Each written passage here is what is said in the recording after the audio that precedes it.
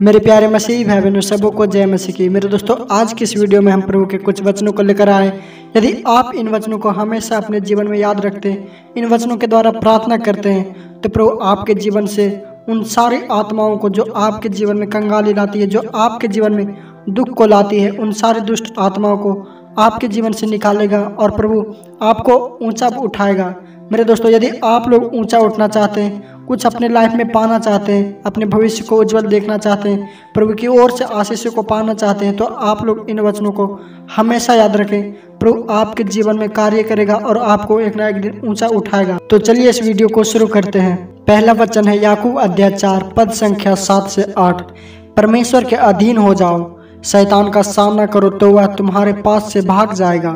परमेश्वर के निकट आओ तो वह भी तुम्हारे निकट आएगा। प्रभु का वचन कहता है कि अपने आप को प्रभु के अधीन कर दो। जब अपने आप को आप प्रभु के अधीन कर देंगे, प्रभु के हाथों में दे देंगे तो शैतान आपके जीवन से भाग जाएगा।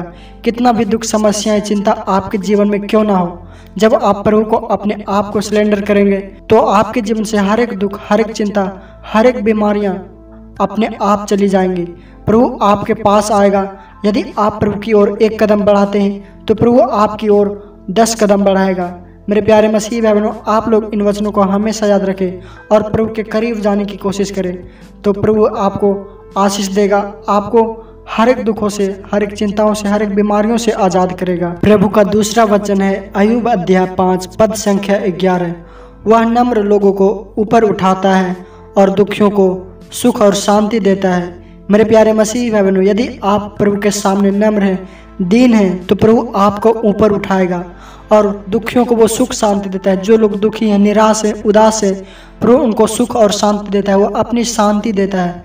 मेरे प्यारे मसीह है यदि आप प्रभु के सामने नम्र रहेंगे, दीन रहेंगे, उनके आगे हर एक अपराधों से बचे रहेंगे, कोई भी पाप नहीं करेंगे, प्रभु की आज्ञाओं को मानते हुए चलेंगे तो प्रभु आपको ऊपर उठाएगा।